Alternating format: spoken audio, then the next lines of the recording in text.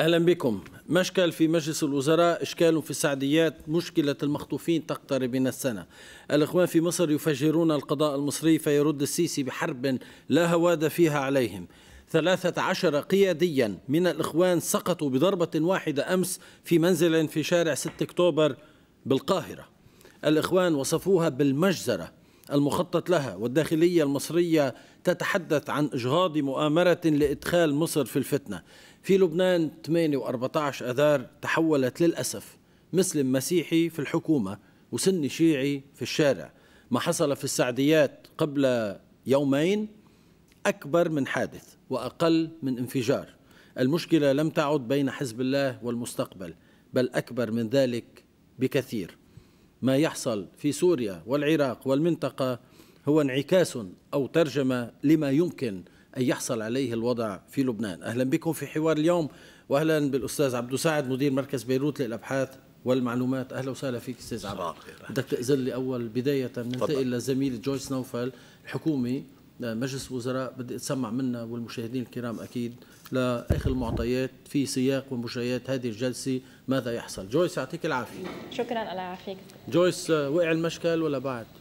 لهلا ما في مشكل وبحسب الأجواء آه، فور دخول الوزراء إلى مجلس الوزراء يلي رح عم ينعقد بعد ثلاث اجماع غياب كان هناك حتى تفاوت بآراء الوزراء آه، منهم من قال إنه لا خلاف هناك حسن نيات آه، بين الوزراء ومنهم من توقع أن يكون هناك بعض الخلافات خصوصا في موضوع التعيينات في ظل ثبات بعض كل فريق على موقفه. سأبدأ من ما يحصل على الأرض في موضوع الأهالي العسكريين لم يتم التطرق إلى هذا الموضوع بتاتا ولا أحد من الوزراء فور دخولهم تحدث عن هذا الموضوع. بالعودة إلى آه، الجلسة آه، الجديدة بعد الغياب كان هناك كما ذكرت تفاوت بالآراء. آه، بعض وزراء تيار المستقبل ووزراء المحسوبين على الرئيس سلام وأيضا على تيار يعني وزراء إذا فينا نقول المنتمين إلى حركة أمل. قالوا أنه موضوع لا خلاف يجب أن يكون هناك حوار بين كل الأفرقاء لما فيه من مصلحة مصلحة الحكومة ومصلحة لبنان بإطار عام. اللافت في هذا الموضوع وكما ذكرت الموقف الثابت لتكتل التغيير والإصلاح ولحلفاء من موضوع التعيينات وضرورة أن يكون موضوع التعيينات بند أول في جلسة اليوم وهذا يلي أخر انعقاد الجلسة ثلاث أسابيع فور دخول الوزيرين جبران باسيل والياس بوصعب. بدا لافت إنه للمرة الأولى الوزير جبران باسيل يدخل إلى السراي من دون حمل حقيبة في يده وهو ما آه، إشارة إلى إنه آه، ليس هناك من مواضيع ستبحث إن لم يتم الحديث وبت موضوع التعيينات. أما الوزير الياس بوصعب فلم يقل سوى كلمات أغنية آه، الفنانة جوليا بطرس أنا بتنفس حرية ما تقطع عني الهوى. ولا تزيد كثير علي أحسن منوعه سوا بإطار إنه يجب أن يكون هناك أخذ ورد وأن يسمع لكل طرف في المواضيع السياسية. أيضا في الشق الآخر بين صلاحيات رئيس الحكومة وصلاحيات رئيس الجمهورية الغائب كان هناك تفاوت. الوزير أشرف ريفي قال يجب أن لا يتم المس بصلاحيات رئيس الحكومة والوزير نبيل دفراج قال أنه فقط رئيس الحكومة هو من يقرر وماذا يقرر. ماذا يوضع على جدول الأعمال. أما وزراء الكتائب وفي ظل الحديث أيضا في هذه الجلسة عن فتح دورة استثنائية آه، في المجلس النيابي كان هناك موقف لافت من وزراء الكتائب فقالوا أنه لن يوقعوا على آه، فتح هذه الدورة. آه، وأيضا كان ضبابية في موقف حزب الله إما سيوقعون على هذا الموضوع أو لا فحتى قالوا أنه آه، يجب أن يتم الحوار. أيضا كان هناك موقف للوزير المحسوب على الرئيس السابق للجمهورية مشال سليمان عبد المطلب حناوي فهو قال أنه فتح دورة استثنائية بحاجة إلى ضمانات وبحاجة إلى آه، ضوابط لفتح هذه الدورة. أما وزير آه، الوزير المال علي حسن خليل فكان رده على هذا الموضوع أنه يتوقع أن يكون هناك توقيع أكثر من 13 وزير في لفتح هذه الدورة.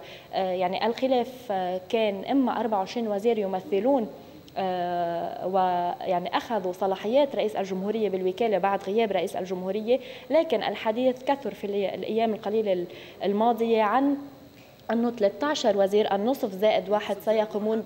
نعم.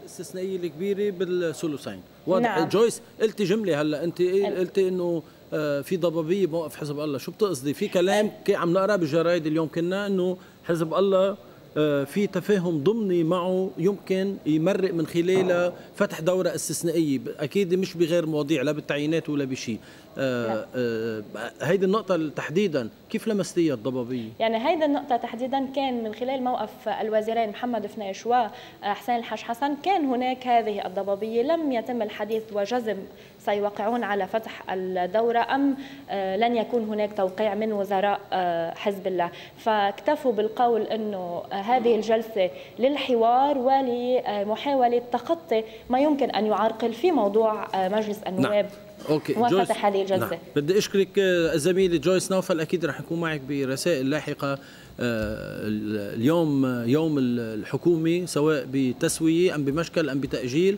أم بإرجاء الجلسة على ما هو آه، مرجح.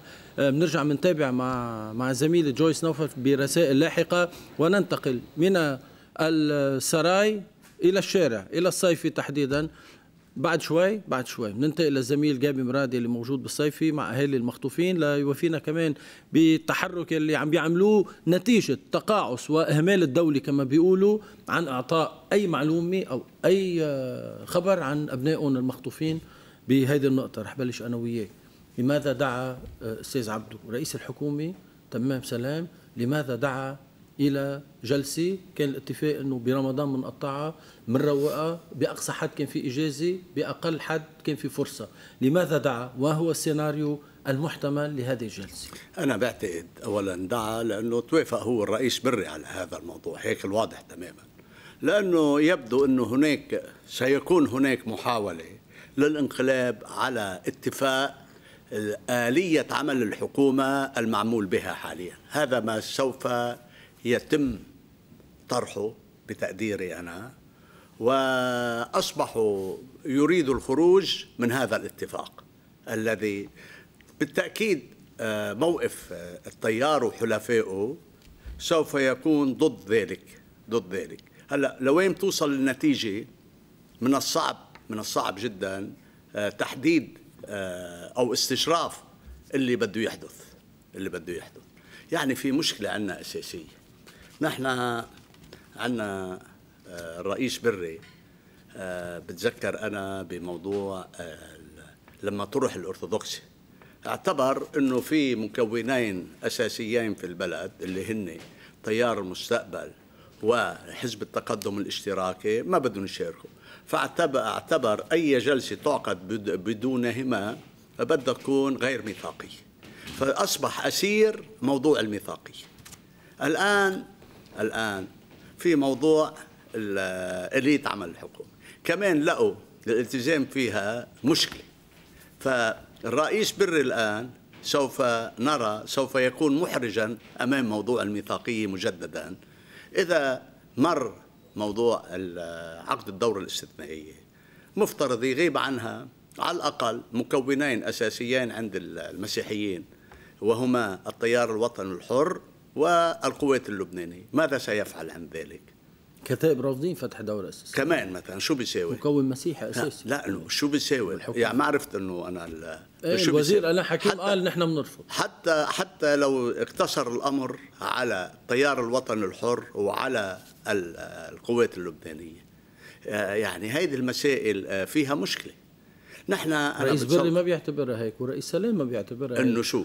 إنه ميثاقيه الجلسة مؤمنة ودستوريتها مؤمنة. بجلسة ناخذ القرار حتى بالنصف زائد واحد. إذا تم عن جلسة الحكومة ولا عن اليوم عن لا جلسه لا, لا, لا أنا عم بحكي عن جلسه أنا عم بحكي عن يحتاج إلى توقيع. رئيس الجمهورية ورئيس الحكومة. رئيس الجمهورية مش موجود. عندك نعم. 24 وزير. نعم. المشكل هلا على الاليه الاتخاذ والتوقيع. طبعًا. إذا 24 وزير بيوقعوا نعم. أم يتخذ القرار أو, أو المكونات يتخذ الرئيسية. يتخذ القرار بالتصويت. صحيح. ما هيك؟ إيه صحيح. طيب معتبرينها هي قرار عادي فتح دورة استثنائية. نصف زائد واحد طبعًا. يعني 13 وزير. طبعا. 13 وزير. هذه مشكلة. هذه مشكلة رئيس بري عفوا رئيس سلام عم بقول سوف يكون هناك محاولة للانقلاب على الاتفاق اللي آه آه، نسجوه هذيك المرة بخصوص عمل آلية عمل الحكومة. في له تداعيات هذا الانقلاب طبعاً عبدو. أكيد- شو تداعياته؟ أكيد- وكيف بيتحمل تمام بيك؟ بالنفس الوحدوي والتسووي اللي عنده بيتحمل هيك انقلاب؟ أنا بتقديري للأسف الشديد الكل دائما طيب شو شو بيساووا يعني شو بيقدروا يعملوا؟ شو بيقدروا يعملوا؟ أنا بقول من هون إذا ما في تفاعل بالشارع حول هذه المواضيع للأسف الشديد سوف يتم تجاوز كل الاعتراضات وما إلى ذلك. بكل صراحة بقولها بكل صراحة. الضمانة هو الشعب اللبناني. الضمانة إنه يتفاعل الشعب اللبناني مع الطروحات المحقة هذه اللي عم تنطرح من قبل التيار الوطني الحر إن كان بخصوص التعيينات لأنه بصراحة بالله الكل يتحدث عن تعطيل التيار الوطني الحر وحلفائه لعمل ل- للحكومة. التعطيل متأتي من الحكومة نفسها. الحكومة لا ما عم بتقوم بواجبها. ما عم بتقوم بالتعيينات اللي هو واجب دستوري هذا الأمر يعني. فعلى كل حال نحن بتصور جلسة- امام مرحلة جديدة سوف نكون أمام تصعيد كبير آه. أنت بتعتبر إنه جلسة اليوم هي مؤشر لتوتر جديد آه، في المشهد السياسي؟ بتصور هيك إيه نعم. بدنا نشوف لوين بدها توصل. بدنا نشوف على شو بتنتهي. بدنا نشوف على شو بتنتهي التيار الوطني الحر تكتل التغيير والإصلاح اليوم داعي لجلسه استثنائية العماد عون الساعة 3 ونص إيه. للتكتل وبذات صحيح. الوقت استبق الجلسة بتوجيه كتاب اعتراضي إلى صحيح. آه، صح. رئيس على الحكومة. جدول الأعمال. المصادر رئيس سلام مصادر حكومية ومصادر قريبة نعم. حتى من حلفاء الحليف أو أصدقاء الحليف بيقولوا إنه ما لها ما لها أي تأثير الكتاب الاعتراضي الكتاب ال- الاعتراضي ما له أي تأثير. على جدول فيكم الأعمال. بقلب الحكومة تحكوا. على جدول الأعمال؟ إيه هن بيعتبروا هيك. لا أنا اللي عرفته إنه حتى حتى. حتى كتاب الاعتراض اجى كمان من حلفاء التيار اللي هو حزب الله وتيار المردة. لا ما عم بحكي عن الشباب أنا عم بحكي عن غيرهم.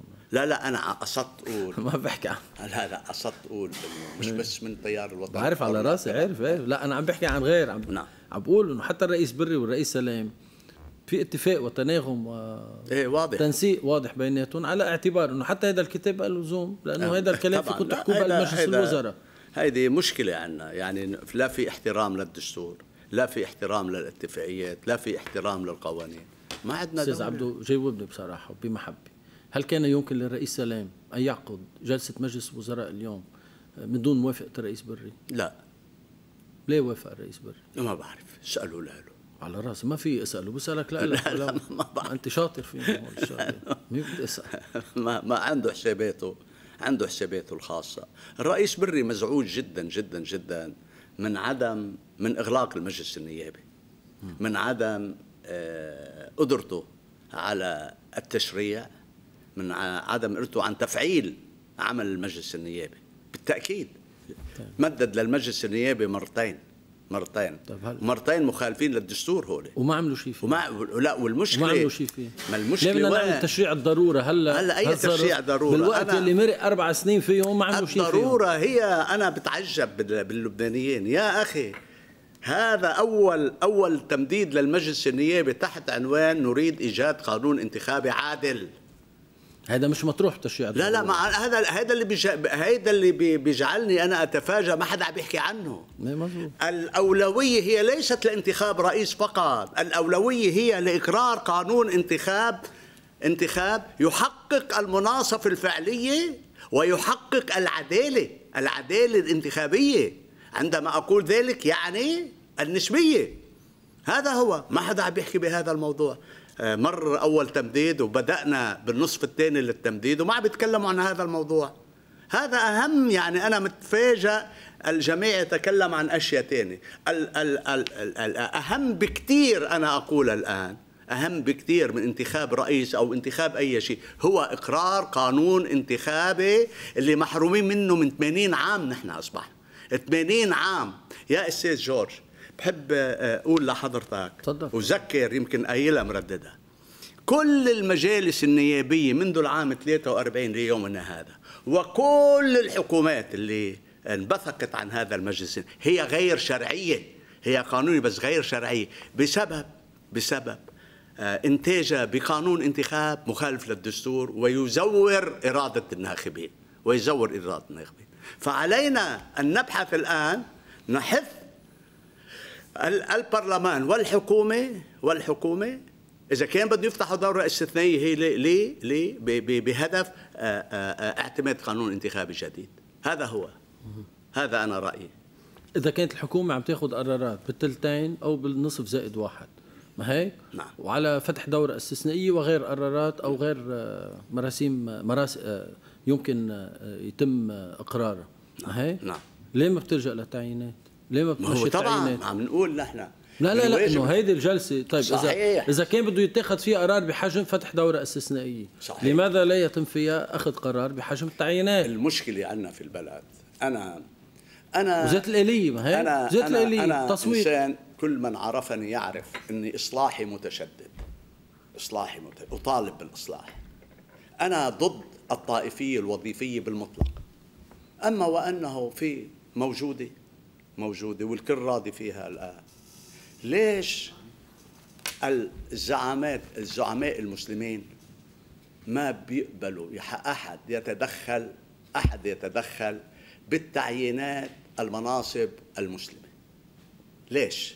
عم بحكي عن ثلاث طوائف أنا مش طائفة واحدة.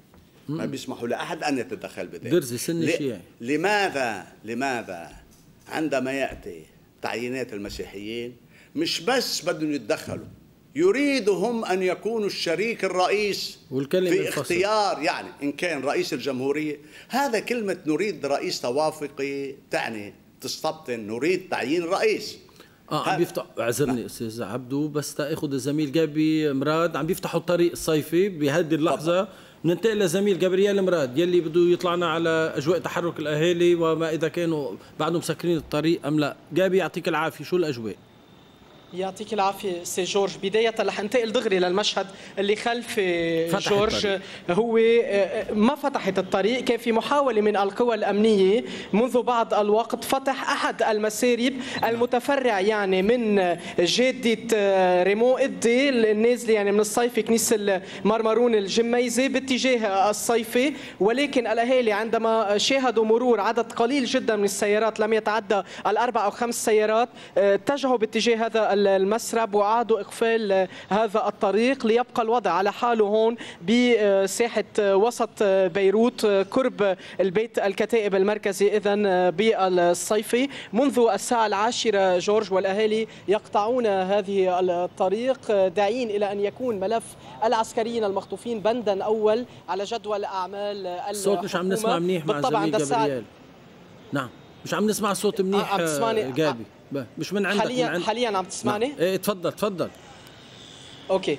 كنت عم أقول إنه منذ العاشرة جورج اذا أقفلت الطريق هنا في وسط بيروت. عند نقطة الصيفي بمحاذاة البيت المركزي لحزب الكتائب وعند صحيفة النهار ويعني باتت هذه المنطقة خالية من أي وجود لحركة السير. ولكن على عكس المرات الماضية تم التنسيق مع القوى الأمنية والقوى الأمنية اتخذت خطوة بتحويل السير باتجاه المرفأ وبالتالي لم نشهد زحمة سير بوسط بيروت ولم يعلق المواطنون بسياراتهم كما كان يحصل سابقا. يمكن أن نشاهد الوسط العاصمة خاليا حاليا من أي حركة للسيارات. سمعنا منذ بعض الوقت أن الأهالي قد يعمدون إلى قطع الطريق البحرية من خلال الإطارات المشتعلة ولكن هذه الوجهة النظر لا تزال مدار أخذ ورد بين الأهالي. هم يعتبرون أن رسالتهم يمكن أن تصل بمجرد الخطوة التي يقومون بها حاليا. جورج باستطلاع رأي الأهالي بشكل سريع معروف أنه هناك ملفان بموضوع العسكريين ملف جبهة النصرة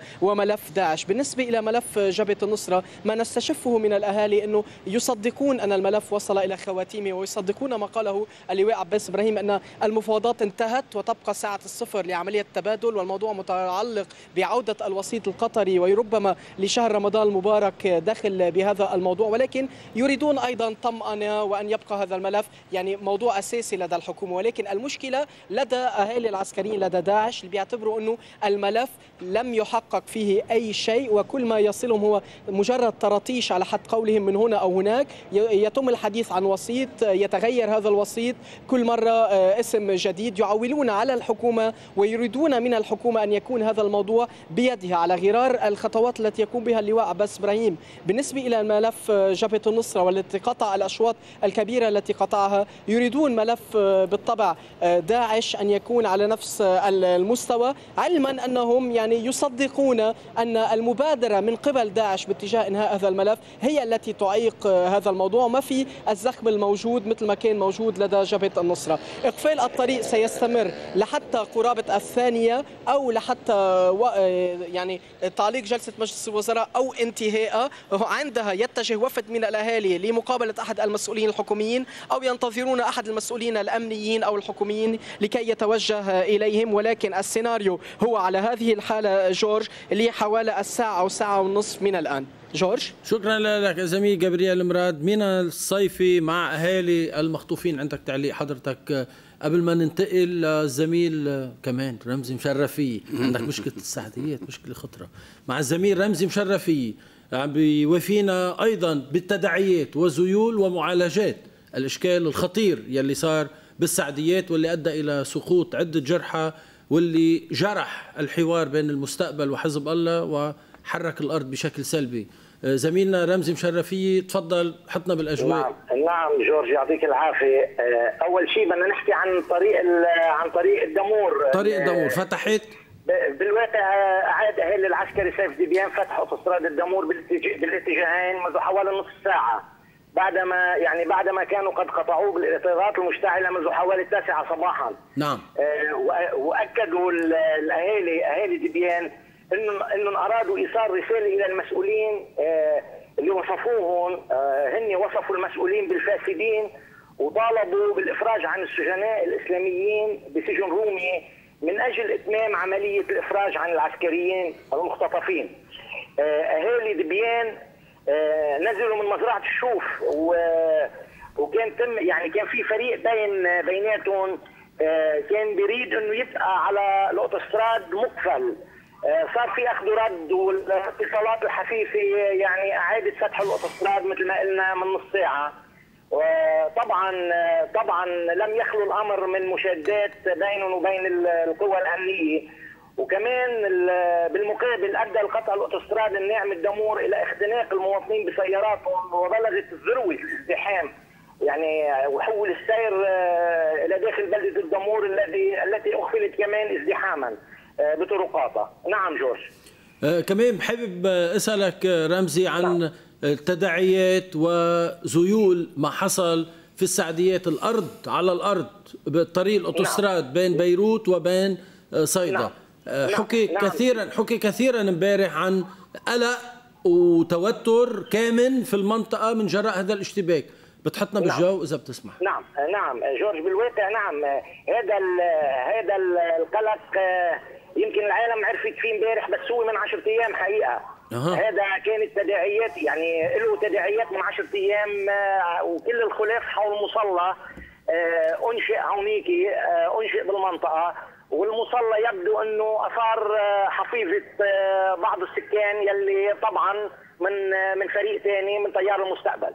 هلأ الموضوع طبعا كان خطير وبيشكل قلق وما زال يشكل قلقا حتى هذه اللحظة يعني. الوضع ما انتهى. يعني يعني الوضع ما انتهى ما انتهى على بالنفوس يمكن على الأرض هلأ ما في شيء. بالنفوس ما انتهى وإذا يعني إذا بنستمع للفريقين بيقولوا لك إنه ما في يعني بعد كل شيء المصلى بعده وهذيك القلق تبعهم بعد. يعني آه، ما بعرف كيف المعالجات عم بتتم وحسب ما عرفنا اليوم نحن إنه في معالجات ما زالت مستمرة على أعلى المستويات على أعلى المستويات يعني تخطت المنطقة. يعني آه، صارت مش مش بس شوف يعني صارت على أعلى المستويات ولا يتم معالجة هالوضع هذا. هلا آه، بالنسبة لخطورته كمان إنه كونه يشرف على الطريق الساحلي على طريق الجنوب. يعني آه، هيدي طريق يعني حيوي يعني وحساسه وشريان كبير لحزب الله بصراحة ما حزب الله يعني طريق صيدا جنوب آه، بيروت جنوب طريق حساسه لحزب الله للمقاومة واضحه نحن ممنوع نحن تقطع. بنعتبر مظبوط. نحن بنعتبرها خط أحمر بالنسبة لهم يعني حسب ما نعرف يعني واضح، خط واضح. احمر ممنوع تقطع هيدي ال- ممنوع تنقطع هاي الطريق صحيح صحيح والوضع واضح. مثل ما عم بوصف لك اياه يعني شكراً. آه، آه، لازم له معالجة شكرا لك زميل رمزي مشرفية آه، من آه، منطقة الدمور على الرسالة اللي وفيتنا فيها بالنقطتين نقطة أهل العسكريين قطع الطريق والنقطة الثانية تداعيات ما حصل قبل ما أكمل أنا وياك بالسياسة وبالاستطلاعات وبالكلام مجلس الوزراء شو رأيك بالحادثة يلي صارت بالسعديات خارج السياق العام وخارج النص الحواري بين حزب الله وبالمستقبل. يعني في حوار من فوق في اشتباك من تحت انفجر الوضع فجأة 10 12 جريح. القصة مش قصة رمان شيء مؤسف جدا جدا جدا حدث ولكن هذا الحوار للأسف الشديد بيكون في حوار هون وفي مواقف سياسية بيعبر عنها آه، بعض أعضاء طريق المستقبل. يعني تحرض الناس بكل صراحة بقول تحرض الناس. يعني الهجوم على حزب الله العنيف بهذا الشكل هو هجوم على الطائفة الشيعية. يعني معلش. هو عندما ما في حدا اليوم عندك فريق اسمه حزب الله وحركة أمل يمثل الأكثرية الساحقة عم بحكي عن أكثر من 95% من الطائفة الشيعية. أنت لما عم بتقوم بهجوم عنيف عليهم عم بتقوم بعملية تحريض دون أن تدري دون أن تدري. أنا ما عم بتهم أنه هن عم بيحارضوا. دون أن تدري. هجومك على حزب الله عم بيجعل أبناء الطائفة السنية المؤيدين لتيار المستقبل آه، يشعروا باحتئان كبير. وهذا الأمر أنا ما عم بوضع الحق على حدا يعني الآن. مش عم بقول أنا الحق على ما بعرف ما تابعت الموضوع. الحق على أنصار تيار المستقبل أو على كذا ابدا. بس عم بقول هذا هو السبب يعني. يعني كل يوم بتلاقي شيء من هالقبيل هيدا. بس هي القصة أستاذ عبدو نحكيها بصراحة معودين نحكي بصراحة ونسمع منك بصراحة. ال- أنا مثل ما أنا سألت امبارح بس مجرد استطلاع نعم. وحشرية تنعرف شو صار؟ آه، أحد الأحبة قال لي إنه الفرق بين الأذان الشيعي وأذان السني إنه بالآخر في حي على خير العمل. عند الشيعة نعم. الوحيدة نعم. بالهذا نعم. لا. لا صحيح. مستحبة لا لا صحيح لربنا صحيح. شو ما كانت الصلاة صحيح لربنا صحيح مستحبة ما حفوت بالجانب الديني لا، لأقول لك أنا, شو الأصول أنا هي رح فوت يا سيدي أنا نعم. بحيدك بس أنا بدي أسأل إنه هيدي الجملة أنا رح حي على خير, خير العمل. العمل آه، استفزت آه، ناس موجودين وصار المشكل نعم. طيب هيدي الشغلة بدها لجنة أمنية وبدها حوار سني شيعي لواحد ما يقدر يصلي أو يقدر يصلي صار بس هذا السؤال أنا بدأت بقوله. بمقدمتك عن اليمن السعودية العراق إيه إيه. ما هذا امتداد لهون هذا له تداعيات عنا. يعني له تداعيات عنا يعني معلش واحد ما في اليوم يعني ما اليوم ممنوع, الصلاة إلا بصياغة معينة صار بمناطق معينة نعم اليوم هالحملة آه، غير المسبوقة بالتاريخ آه، العنيفة آه، ضد الشيعة. الشيعة اليوم مستهدفون من تكفيريين ما عم بحكي من حدا تاني اللي عم بكفروا الكل بكفروا السنة بكفروا المسيحيين بكفر بس هذه الهجمة هذه الهجمة الكبيرة لها تداعيات عنا لها تداعيات عنا. بتحرض الناس بتحرض الناس. في ناس بتتحرض. تشعر بتتماهى في البعض يتماهى مع الخطاب التكفيري. يتماهى. وبرجع بقول داعش لا تكفر الشيعة فقط. هي طبعا تستهدفهم أينما كانوا ولكن تكفر السنة وتكفر بقية المذاهب. يا سيدي نحن شو بدنا ب آه، لبنانيين صاروا عم لا بعرف. حبيب قلبي مش عم بقول لك شيء يا أستاذ عم بقول لك في أنا عم بقول لك نحن بلبنان صاروا عم بكفروا بعضهم طبعاً، الناس. شو طبعاً، بدي بداعش طبعاً. يلي هي عم بتكفر بس صاروا اللبنانيين عم بكفروا بعضهم مجرد صحيح،. صلاة أنا ما بعرف شو صار بعدين لكن إذا كان هذا السبب الرئيسي لأنه الأذان ما عجبت البعض يعني عندنا مشكلة بتتخطى طبعاً، الحوار طبعاً، بين حزب طبعاً، الله وبين طبعاً، طبعاً، طبعاً. المستقبل طب يعني ليش عم يستهدفوا- جايين على مشكلة أكبر يعني ما هي اليوم آه، ليش عم يستهدفوا المساجد الشيعية إن كان بالسعودية وإن كان بالكويت والآن يمكن بالبحرين وما إلى ذلك. ما هذه مشكلة كبيرة. هيدي عم لك في ناس بتتماهى مع فكر داعش عندنا في لبنان وعندنا داعشيين في لبنان. كان على المستوى الشعبي ولا على المستوى السياسي؟ بحكيك إياها بكل صراحة. بحكيك إياها بكل صراحة. هذه مشكلة كبيرة بدك تعالجها. بدك تعالجها. أنت تخشى امتداد هذه الروحية وهذا الجو. ويتزامن مع اشتداد المعارك في سوريا وتقلب الأوضاع السريع والخطير والمتدهور في المنطقة. لك الحوار. شوف شو عم بيصير بمصر. إيه، الحوار. مصر عاملين صمام الأمان. بتقديري أنا صمام الأمان. هو هذا الحوار القائم بين تيار المستقبل وبين حزب الله. برعاية الرئيس بري. هذا صمام أمان. صمام أمان. بعد مش عارف ليش بعد الأمور فالتة على ال- بالشارع. عند ال... وبعض أعضاء تيار المستقبل. ما قابلين يمكن بهالحوار هذا. يمكن منقسم تيار المستقبل ما بعرف. هيك مبين يعني. طيب في شغلة صارت امبارح. هيدي مشان ما تمرق مرور الكرام. من مش عم نحرض على حدا لا سمح الله بس عم نحط النقاط على الحروف. المستقبل بيقول عن حزب الله مسلحين معه. خلص أوكي واضح معروفة حزب الله معه سلاح نعم. خلص صارت معروفة وجماعه ما بينكروا. صحيح. وسلاحهم عم بيقاتلوا فيه إسرائيل والتكفيريين.